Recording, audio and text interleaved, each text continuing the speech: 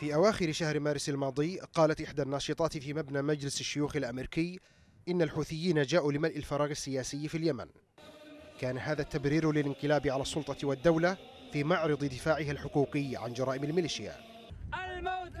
تبدو الصورة هنا مكثفة عن طبيعة عمل الكثير من المنظمات التي تمضي وفق قناعات وهويات سياسية باتت اليوم تتعاطى مع الحرب والانتهاكات في اليمن كعدوان خارجي وتقفز على جرائم الانقلاب الذي قوض الدولة والقانون وأتى على الحياة المدنية والسياسية من جذورها.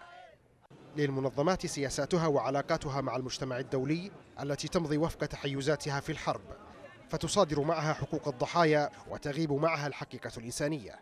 هذه الصورة تنعكس أيضا على أداء المنظمات الدولية خصوصا تلك التي تستند على طواقم وأفراد ومؤسسات لا تزال تخضع لسلطات الانقلاب وتعمل تحت مظلته.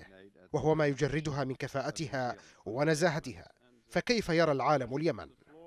إلى جانب الحرب تبرز انتهاكات حقوق الإنسان منها التعذيب والإخفاء القسري والاعتقال التعسفي.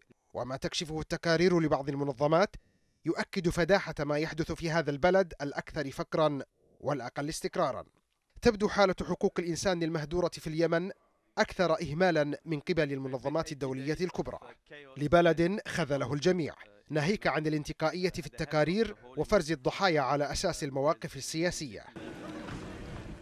أداء المنظمات الدولية لحقوق الإنسان في اليمن يخفت في المناطق الأكثر ضررا وانتهاكا ومن بينها تعز التي ظلت غائبة كملف حقوقي في الطاولة الدولية إلا من بعض الاستثناءات.